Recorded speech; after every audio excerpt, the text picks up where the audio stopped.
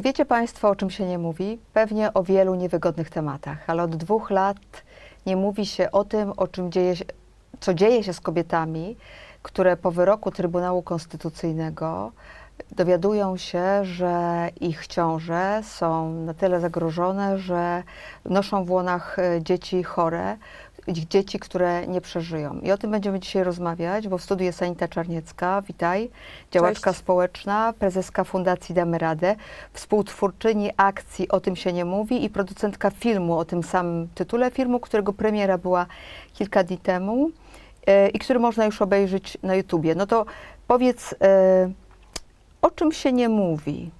O czym jest ten film i o czym się nie mówi w Polsce?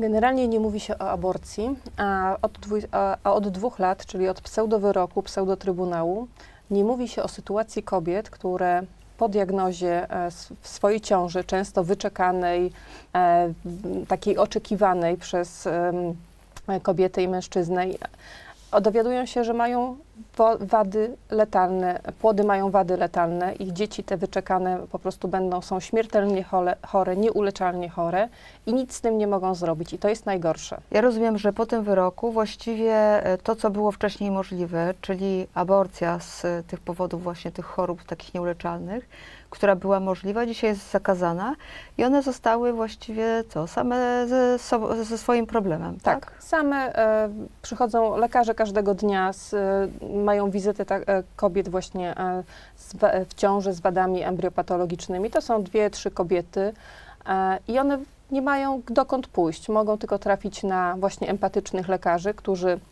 ich wspierają, ale też czasami trafiają na nieempatycznych i złych lekarzy, gdzie po czasie dowiadują się, tak jak ostatnio w Warszawie było, że kobieta ma płód bez, bez głowy, tak, bez czaszki, więc to jest coś strasznego. Pokazujecie w tym filmie historie konkretnych kobiet. To są historie e, dawne, czyli to są takie kobiety, które, mm, można by powiedzieć, no nie wiem, czy to jest dobre określenie, miały szczęście, bo e, one jeszcze w tym starym systemie prawnym funkcjonowały, ale także historie kobiet, y, szczególnie jednej kobiety, która w tym ostatnim okresie się dowiedziała, że jest w ciąży, y, siedzi przed lekarką, płacze. Właściwie ten, kto ogląda ten film, płacze razem e, z nią. E, To jest, muszę powiedzieć, wstrząsający film, jak się ogląda go. Marek e, Osiecimski, reżyser filmu, nie kreował niczego. Te nasze bohaterki opowiadały same od siebie, same z siebie. A, I nasza główna bohaterka, m, która właśnie jest tą taką przewodnią myślą tego filmu, e, to był 40-minutowy lament, szloch. Ja odsłuchałam całego e, nagrania e, i proszę, wierz mi, że naprawdę nigdy nie chciałabyś, żebyś ktoś, kto kogo kochasz, czy ty sama, żebyś była w takiej sytuacji. Ta kobieta chciała popełnić samobójstwo, przyszła od lekarza po diagnozie, ścięła włosy, więc była naprawdę w, na skraju e, życia i śmierci. I dopiero właśnie dzięki Federze, czyli dzięki organizacji pozarządowej, trafiła do e, Federy, czyli Federacja na Rzecz em, Planowania Rodziny. E, skierowała ją do lekarza, do psychiatry, tam została zaopiekowana. I my oglądamy już ten etap po zaopiekowaniu, tak? gdzie ona po prostu przyszła, opowiedziała swoją historię i później ta historia potoczyła się zgodnie z jej wolą. No dobrze, to możemy powiedzieć, że ona miała szczęście. A ile kobiet w Polsce nie ma takiego szczęścia? Dużo więcej. E, To są tysiące kobiet, bo statystyki, które mówią ministerialne jeszcze przed wyrokiem, mówiło o około 1500 e, kobietach, ale to jest nieprawda, bo to są zaniżone statystyki, więc tak naprawdę ciąż e, z wadami embriopatologicznymi uszkodzonymi jest dużo więcej. No i teraz jest po prostu tylko i wyłącznie kobiety mogą liczyć na organizacje pozarządowe, które wspierają je w tej trudnej sytuacji, bo dróg wyjścia może być kilka. No właśnie, jak one sobie radzą dzisiaj kobiety? Albo nie radzą? E, to znaczy, wszystko zależy od tego, czy mają to szczęście, że trafią na lekarza, który, który, ją, e, który pomoże jej. Czyli jeżeli mają szczęście, to trafią właśnie do organizacji pozarządowej właśnie poprzez lekarza lub też same znajdą e, Federację na Rzecz Planowania Rodziny w internecie i się zgłoszą.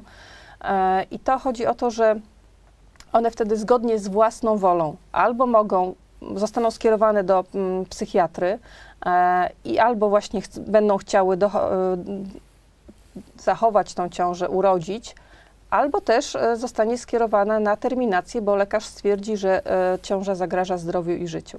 Część bo są tacy wyjeżdża. lekarze, które, którzy to stwierdzają, tak? Tak, Tam w tak. tym filmie jest e, psychiatra, która o tym to mówi wyraźnie, że kobiety przychodzą i mówią, że e, znaczy mówią, ona mówi o tym, że są w tak ciężkim stanie, że one chcą sobie odebrać życie i, i jej zdaniem to są ciąże zagrażające ich życiu. Tak, zgadza się. Lekarze ginekolodzy i lekarki psychiatrki, które mamy w projekcie, widzą to na co dzień. A właśnie doktor Aleksandra Krasowska stwierdza, że od dwóch lat pojawiła się nowa jednostka chorobowa. Czyli e, wbrew woli kobiety, ona musi donosić ciążę z wadą embriopatologiczną, czyli z tym być tą żywą trumną, na co nie wyrażasz zgody. No wyobraź sobie nosić e, dziecko, którego nie chcesz, e, czy płód, no to bo to w zależności od tego, jaki mamy stosunek do tego, ale generalnie chodzi o to, że wbrew twojej woli ty musisz e, urodzić to być może martwe dziecko, tak? Albo ono umrze za chwilę po porodzie, więc to wszystko jest jedną wielką loterią aż do dziewiątego miesiąca. To są ogromne dramaty, które, których widzą właśnie lekarze w swoich gabinetach. Ale w tym, ty w tym filmie też pokazujesz kobietę, która zdecydowała się donosić e, te ciąże, czyli te historie też takie się zdarzają. Tak? ale ona też mówi o tym, że kobieta, bo to jest w ogóle też takie przesłanie tego filmu, że k- chodzi o to, żeby kobiety miały prawo wyboru, a Dokładnie. nie, wy nie mówicie w jaki sposób, tylko żeby kobiety miały prawo wyboru, a tego Dokładnie tak. wyboru kobiety pozbawiono. Tak, nasze bohaterki miały e, różne e, drogi i mm, ta część, e, które po wyroku, to są trzy bohaterki, które po wyroku, no właśnie dwie wyjechały za granicę i tam w Holandii miały terminowane ciąże, a jedna z nich właśnie w Polsce dzięki Federze. Ale też nasza bohaterka, jedna z bohaterek, która chciała urodzić, to jeszcze było przed wyrokiem, ale to był jej świadomy wybór.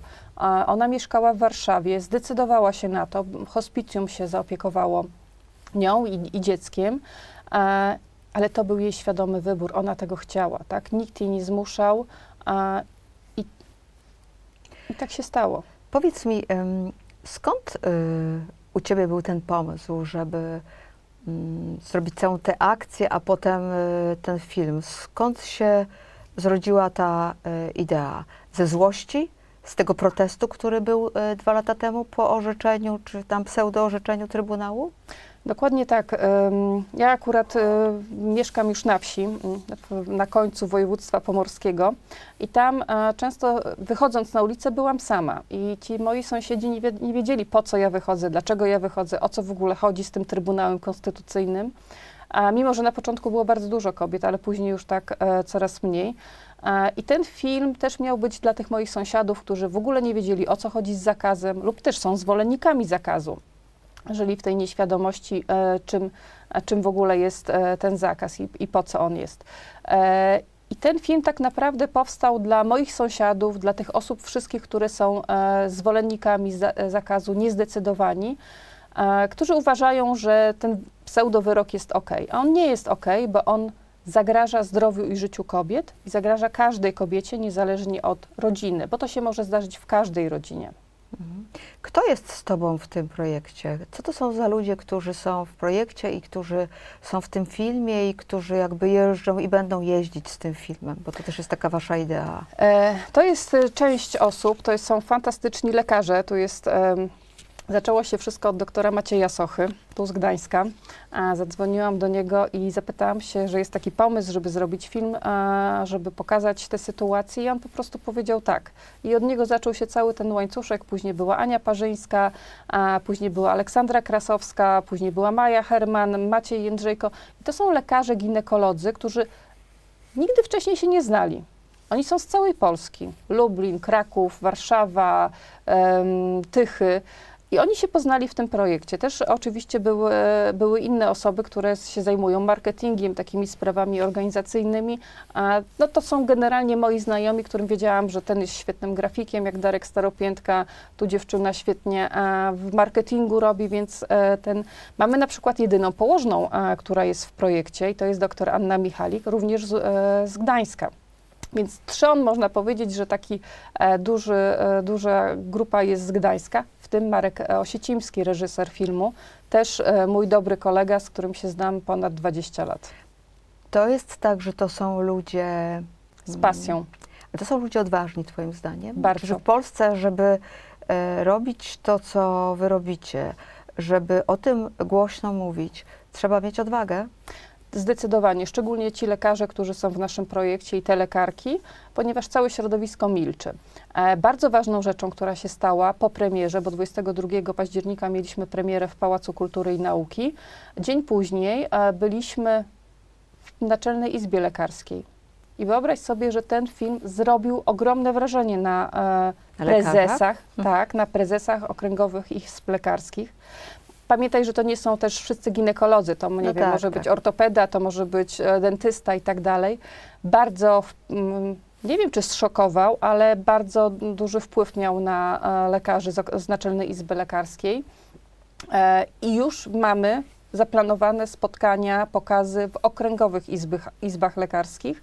A właśnie e, niedługo będzie, jadę do Katowic na właśnie na takie spotkanie.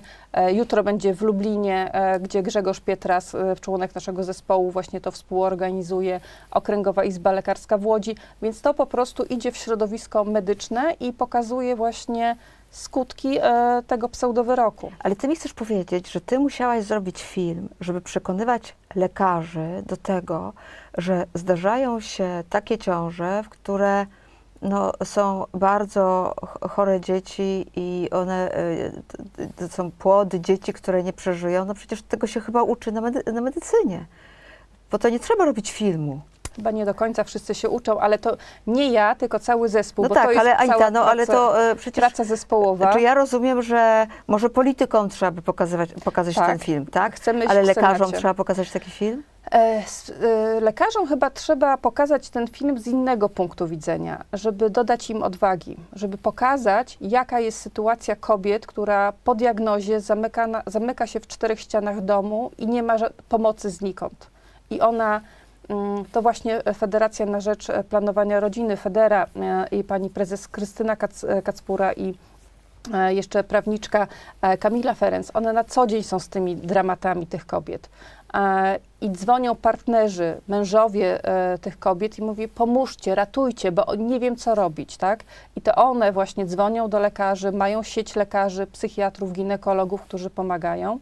I w większości to są nasi lekarze, tak, którzy e, wspierają i pomagają. Ale to jest jeszcze inna rzecz. Ten projekt jest bardzo taki wielowątkowy. Raz, że zrobiliśmy film, ale dwa, że środowisko obywatelskie, prawnicze i lekarskie nawiązało współpracę. Jesteśmy w tej chwili przed rozmowami e, i w Naczelnej Izbie Lekarskiej e, chcemy doprowadzić do takiego spotkania właśnie prawników z lekarzami i z nami obywatelami, żeby iść dalej, żeby rozmawiać wspólnie, bo naszym celem jest e, wspólna walka o prawa kobiet, co widzą na co dzień lekarze i po prostu e, uważają, że No dobrze, ale czy ty, y, czy waszym celem jest to, żeby y, docelowo zmienić przepisy w Polsce? E, Co, jak wiadomo, y, jest bardzo trudne, żeby nie powiedzieć momentami niemożliwe. Czy waszym celem na dziś jest przekonać lekarzy, żeby udało się stosować na dziś te przepisy, bo jest możliwość pewnego stosowania przepisów, tak, i wykonywania także aborcji w Polsce no, dziś w, w jakimś zakresie. Jaki jest wasz, wasz cel taki krótkoterminowy i długoterminowy? Mój, mój prywatny, który mi przyświeca, mi jako politolożce, to jest to, żeby pokazać obywatelom, każdej Polce i każdemu Polakowi, że za decyzją polityczną stoi zdrowie i życie e, Twoje, moje, e, kogoś, kogo kochamy. To jest polityczna decyzja, która wpłynęła na zdrowie i życie Polek. E, i, ta decyzja nie była konsultowana w żaden sposób z naukowcami, lekarzami, medykami. Oni to przewidywali. A to jest pierwszy taki, taka bardzo ważna rzecz. Uważajmy, na kogo głosujemy, tak? Bo to może mieć wpływ na nasze zdrowie i życie. Za rok mamy wybory. A drugą rzeczą, tak, tak jak mówisz, e, to jest, my się nie, e, też jest legalna aborcja bez kompromisu. My się nie spotkaliśmy na tej płaszczyźnie, że chcemy legalnej aborcji bez kompromisu i nie mówimy tu o aborcji. bo to nas nie połączyło, chociaż 99% jest za legalną aborcją bez kompromisu do 12 tygodnia, zgodnie z projektem, który niestety przepadł e, w Sejmie. Ale mamy nadzieję, że nowy Sejm, nowy parlament e, uchwali to zgodnie z wolą większości, a wiadomo, jakie są e, sondaże. E, więc tak, to ma też edukować, to ma po prostu pokazywać i edukować w wielu wymiarach. Mhm. Ten film ma taki tytuł, o tym się nie mówi.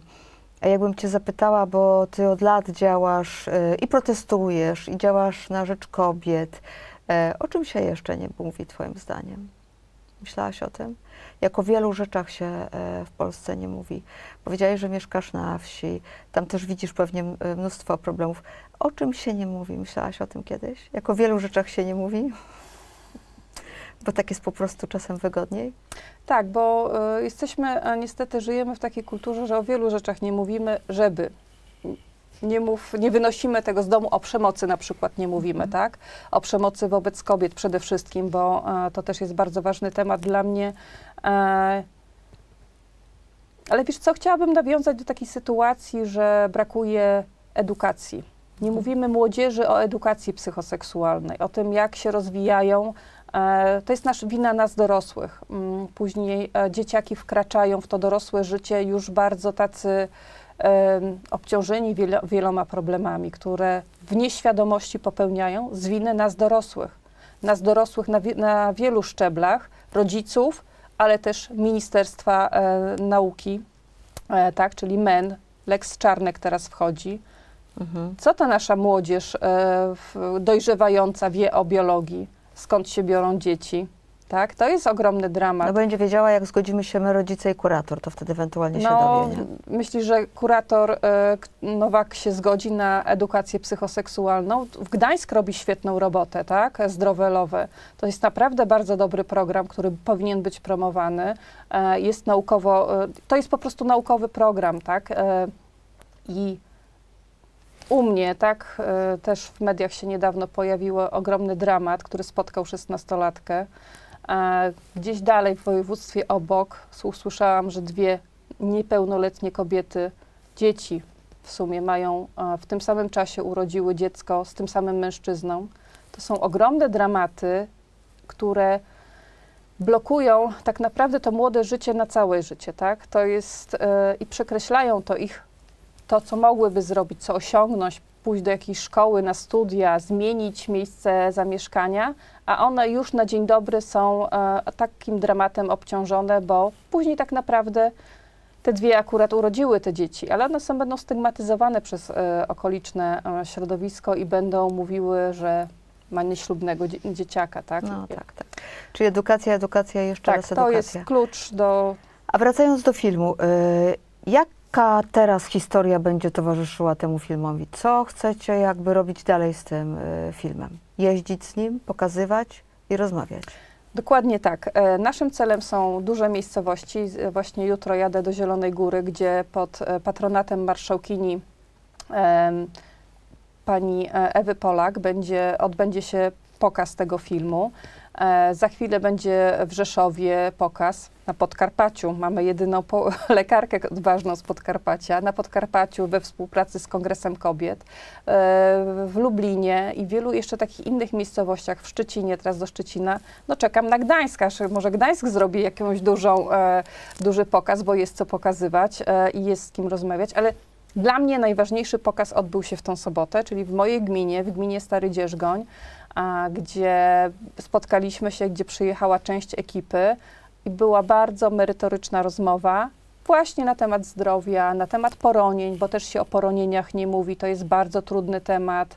Em, Często kobieta się wini z tego powodu, że poroniła, czy też wini się, że ma dziecko z wadą embriopatologiczną. I tego nikt nie tłumaczy, że to nie jest wina kobiety, że to jest taka natura, że tak było zawsze, to nie jest żaden grzech, żadna kara za grzechy, tylko po prostu taka jest natura. Około 10% ciąż się roni.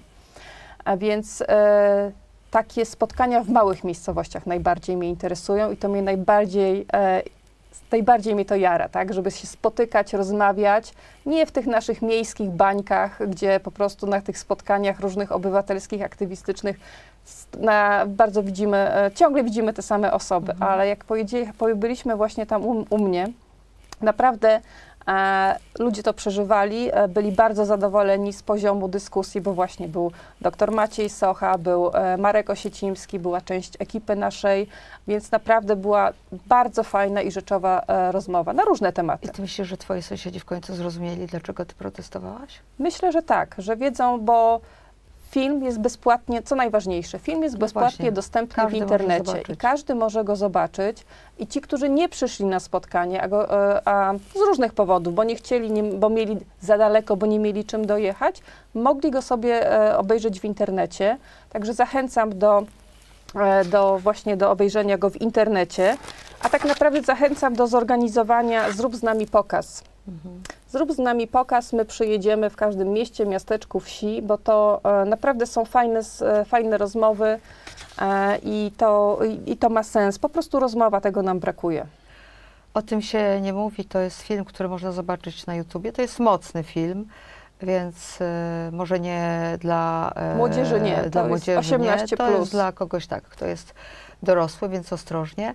Ale myślę, że e, warto zobaczyć, żeby to właśnie zobaczyły kobiety, zarówno te już dojrzalsze, jak i te młode, które jeszcze są przed decyzjami o dzieciach, żeby wiedzieć, że no, i, i z takimi historiami niestety możemy mieć do czynienia. Dziękuję Ci za to spotkanie, za tę rozmowę. Dziękuję za zaproszenie. E, Zapraszam do e, słuchania i do oglądania tego podcastu z Anitą Czarniecką na gdańsk.pl i na profilu Miasta Gdańska na Spotify, ale także i innych podcastów z serii Jestem z Gdańska, rozmowa Agnieszki Michajłow. Do zobaczenia i do usłyszenia.